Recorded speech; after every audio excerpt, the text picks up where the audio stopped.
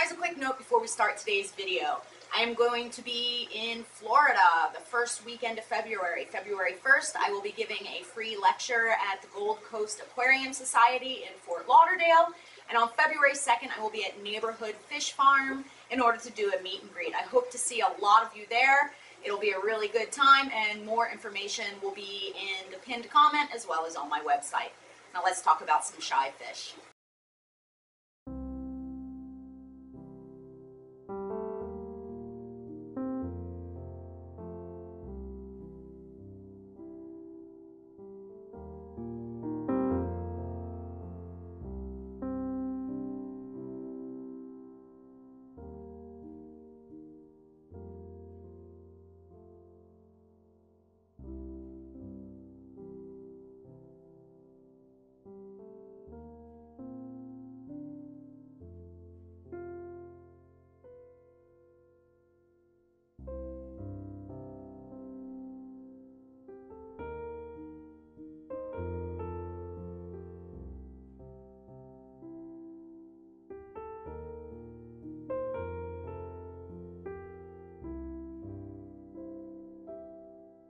Hey guys, and welcome back. I'm Rachel O'Leary, and today we're going to talk a little bit about what makes fish shy and if they're worth it. There are lots of things that can make a fish hide. It can be the improper tank setup, meaning not the right decor for the fish or not the right fish for the decor. A natural inclination to hide because of their small stature or even the fish that they're found alongside in the wild or an improper combination of fish, not enough of each type, or again, poor compatibility. It's important when you're setting up an aquarium for small fish to really take into consideration what your goals are. Do you want to breed these fish? Do you want an active, visible, uh, colorful community? Do you want them to exhibit their more natural behaviors? And if you can find the answers to those questions, you'll have a lot more success. For instance, this tank is hideously ugly, but the goal for this particular aquarium is to allow these fish to show their natural behaviors. Now, these are a wild betta species that um, do fine in groups. You can keep them in pairs or harems. And I've chosen to keep them in a very large harem in this example. I have a lot of females to not quite as many males. And what that allows is for the females to sort of be inquisitive and come out. The females are the more drably colored ones here. And I find that they tend to come to the front of the glass and really make the boys feel comfortable.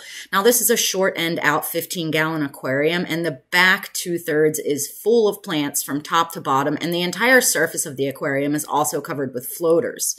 And this really allows these fish to do what they do, which is be sort of reclusive. Now I have left the front portion open so that during feeding time, I can get a really good look at them. They are a beautiful species, and I'd like to hear from you guys if you'd like to see me set up a pair for breeding or if you'd like to see more of a community display. So let me know down in the comments. Now, they are, as mentioned, quite beautiful. Uh, in order to film these guys, I have to sit in the dark on the floor underneath my sink and not move at all. And once they feel comfortable, the girls all start coming out, then the boys start coming out, and I can really enjoy this beautiful species. Now, my goals for this aquarium are just to let the fish do what they do, and they're already bubble nesting. This lets me know that while this aquarium is unattractive, the fish are certainly pleased with it. Um, again, I would like to do more with these guys, and a lot of these fish will end up being for sale, but for now, I'm just enjoying learning about them. As I do get more experience with this species, I'll be sure to do a species spotlight. So make sure you subscribe with that notification bell on so you don't miss updates about these guys as well as many of the other fish in the fish room. Now, I'm really enjoying these. They're quite fascinating in that this is a hard water species. Now, they are often collected from brackish waters. Um, but these particular fish were kept in full freshwater and have been breeding and thriving in such. So I'm going to keep them that way as well. Though who knows, maybe it's a good excuse to branch out into brackish aquariums. Let me know your thoughts on that as well down in the comments. Now, as mentioned, these are a fish that like to hide, so it was important to provide them with adequate spaces to do so so that they have the feeling of security and we do get to see them most specifically during feeding time. But even if you just sit quietly in front of this aquarium, they do come out in great numbers.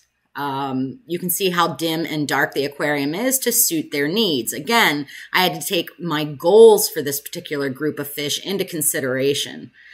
Um, otherwise, it just would not be a successful aquarium. And there's a lot of room for improvement, so stay tuned for that.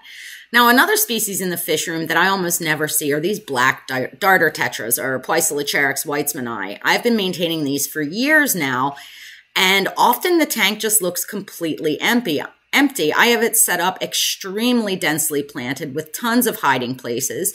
And if you've been around for a while, you'll know that for a while I had wild endlers in with these guys as well. Uh, but they were eating all the babies and it really just wasn't making them come out more as I had hoped. So I ended up moving those endlers back into their own aquarium to continue that breeding project. Now, these guys are absolutely stunning fish, as you can see, but they wouldn't be a good choice for someone who wants to see a lot of their fish, as they do just hide. Again, the goals for this aquarium were to breed these fish and maintain these fish, and it has been quite successful in that regard. As we look around the aquarium, you may see little tiny faces popping out of the carpet of crypts in here, as there are quite a few babies. It's been a really fun and exciting uh, project to get this fish consistently breeding. Um, though it is one at some point I move away from just because it's a 20 gallon tank that almost always looks empty. And I really feel like I've done a great service to this, this fish and it may be time to move to a new project. Next door to them are is my other wild betta tank. You guys know the algae scape. It's one of my favorite aquariums in the entire fish room. And the goals for this aquarium were a bit different. Now, I'm not particularly concerned about breeding the wild bettas in here. They were just a species I wanted to keep. So I set this tank up with that bottom two thirds with lots and lots and lots of botanicals and hiding places. Though I did end up putting a wabikusa ball with um, some plants and some Pogostemon octopus in case they do want to bubble nest. But the goal for this aquarium was just to have an active little Asian aquarium. So I have it stocked with Danio tinwini or the gold ring Danios, my chili rasboras, and then of course my wild bettas.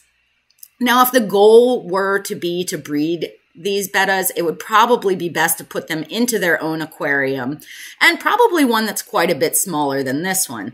But I wanted an active, colorful aquarium to go alongside them. And I was really hoping that these fish, these, uh, these tiny fish would make them more comfortable. It hasn't really seemed to work that way, but it is a successful aquarium. A lot of times folks will put in fish that are notoriously outgoing with fish that are shyer in order to make those those shy fish feel more comfortable. Sort of the same concept as dither fish or target fish for cichlids. Um, but again, in this case, it, it really hasn't worked. Um, the bettas basically hide all of the time. And in order to capture them on film for you guys, again, I have to stand in a dark room at the top of a ladder and wait for about half an hour after adding food in order to see them. Now I have left this front portion of the tank open for feeding so that I do get the rare glimpse of them because when I do see them, it is always so rewarding. They're absolutely gorgeous. And this, this is my male here. It's a stunning little fish. Um, at some point, maybe I'll pull them to try and breed them, but I think I'm going to work with the other wild betta species first simply because they're more unusual than these. And I think that they'll be a better project for a lot of you guys. These are a very soft water species here. Again, my goals for this aquarium have been met, so I feel like it's really successful. Um, partially because the natural inclination of the chilies and the danios is that they seem to be completely unaware that they are a very small fish and low man on the totem pole as far as the food chain goes. And therefore, they are always active and visible and really, really just striking against this very, very green aquarium. Well, there's absolutely nothing wrong with stocking fish from mixed regions, for instance, South American with Asian. I do find in my experience that you get a more successful and outgoing aquarium when you group fish based by at least loose ge geographic region and really pay close attention to the numbers of fish that you can get. With small fish in particular, the more you have, the better they do. This is especially true of some of the smaller danios. um, but also with things like Boraras and Rasboras, etc. It's also important to remember that just because a fish is small, it doesn't mean that it does best in a small aquarium.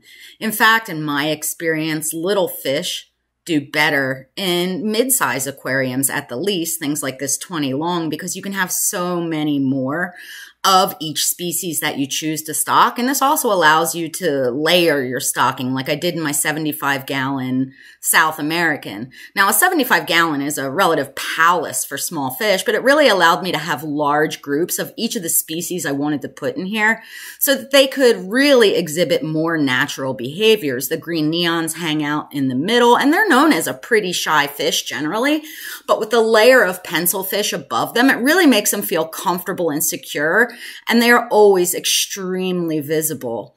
So by using a larger aquarium, I was able to achieve uh, more species with more natural behavior and really just what I think is a super successful aquarium full of fish that in small numbers or small aquariums tend to hide. So Anyway, I hope you guys have enjoyed talking about shy fish. And I have to tell you, in my mind, they are 100% worth it and so rewarding and amazing when you get those small glimpses of them. As always, thank you for your continued support.